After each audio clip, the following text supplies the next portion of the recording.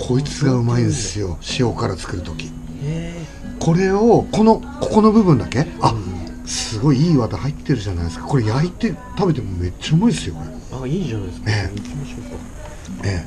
ー、すげえ。ええ。へえそうえなんだ、えでここ芯があるのでうんうん芯取っちゃって、で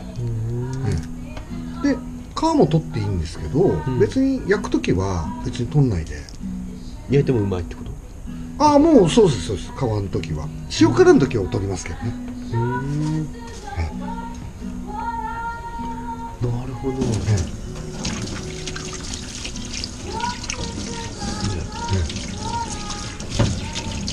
ここで焼けばいいいいだけえ丸まったままだと焼きづらいじゃないですか。だから細切りにしてもいいですしね。別にしといてこれはこれで肝でこれ結構ね破れないんですよなかなか。これねめっちゃうまいっすよこれ。これでも入ってないやつもあるんですよ。あ入ってないやつもあるええ時期的にいまいち炭。この炭じゃなくて綿。うん。ええ。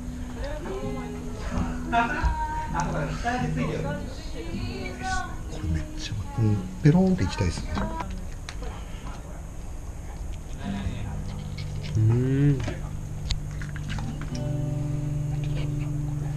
あ綿ね。これええこれがめっちゃうまいですよ。だから美味しいところはこれを焼いて出すところもありますよ、え。うん、ー、イカワタこれどうするの？焼くんですか？焼くか後でちょっとそのお酒入れて日本酒入れてこれと日本酒とこのイカを入れてつけとくとめっちゃうまいですよ、ええ。あの本当の塩辛ですね。漁師飯ですよね。え？そんなちっちゃくなったんですか？また。うん。もうちょっと大きかったですよね前前の。うん。まさかますまた。うん。あれあれっすよ。お金もらえますよ。軍艦。あっくんあうまいね。ううんまいですよね、さっぱりしてる。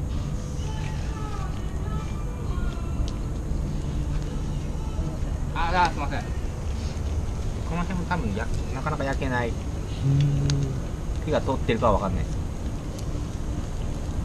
うまい この辺しか映ってない。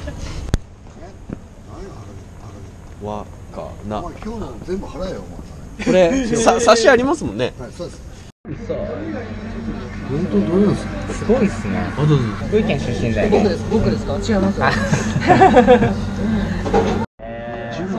昨年確か出てであの酒造の人が全員眼鏡かけてるんですよね。えよくご存知ですね。お表いいですかもう一回あこれあうわーこれあれじゃないですか？なんなんでしょうランドルとか。ランドルとかなんとか。ランドルとか。ー、えこれ何県のお酒ですか？ランドル？えじゃ